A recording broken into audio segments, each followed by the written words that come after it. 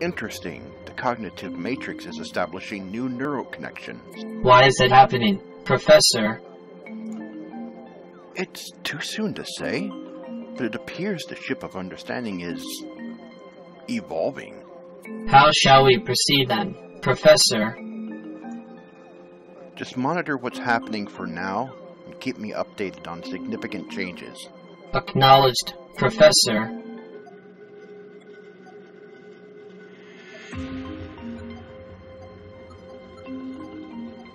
Finally!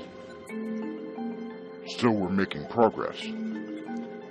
Whoever was pulling the strings while you were in charge tried to cover their tracks, but they left crumbs behind.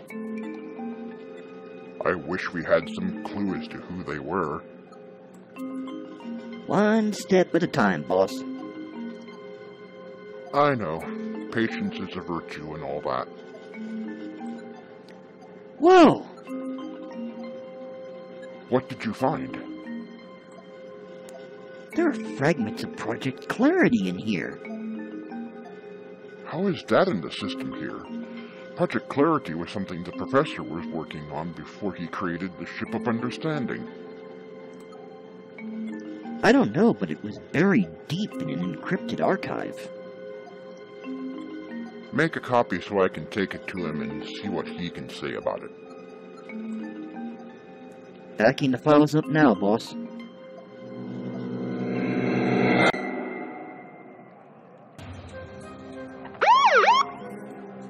This is the worst fanboy hit I've seen in years.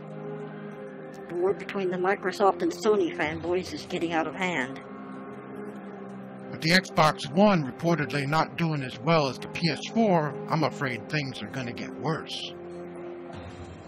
Sadly, I have to agree. All this stems from Microsoft's poor start. That debacle with the DRM and then the Kinect, it burned a lot of bridges. That was only a couple of years ago, though. It was, but Microsoft never really recovered. And couple that with their lack of exclusives. You also have fanboys who are pissed the PC is getting Xbox games too. Ugh, and there is that too. But let's be realistic here. Consoles are beginning to lose their appeal. The console market has peaked. The number of people playing games and consoles hasn't grown as much as it used to. A larger majority of gamers have gone to the PS4 or PC, leaving not as many in the Xbox camp. And the number of new people coming in is a slow trickle. A lot of that is driven by economics. Not as many people can afford a game console. That doesn't mean the PS4 fanboys are jumping with joy, though. They're mad about mandatory installs for games and the fact the PS4 Pro wasn't that big a leap in performance. So both sides are stomping mad, and both sides hate PC gamers. I know a few have called out for actual physical violence against those they consider the enemy. It's getting out of control. Don't sweat it, Chief. Remember, these guys are just a minority, and their numbers are shrinking.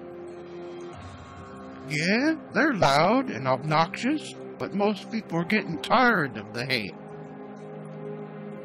True, I shouldn't lose hope that we'll get through this.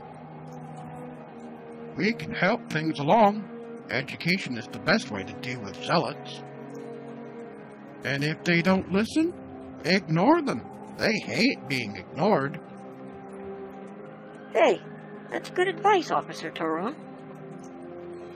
That's what I'm here for, Chief. The guy that was hit, he was a mobile gamer. Yes, mobile gaming has been eating into the console market for a while now. Overseas, in the Far East, mobile gaming has dominance. Yeah, console sales in Japan and Korea are really dropping. While PC and mobile sales in Japan and Korea have gone up. Things are changing, and we all know how some people hate change. Some will fight violently just to keep things the way they are. That's what I believe the fanboys think they're doing. They think they're fighting a war to preserve their way of life. Then things like this will become a more common occurrence. We need to be ready. This war is going to get worse.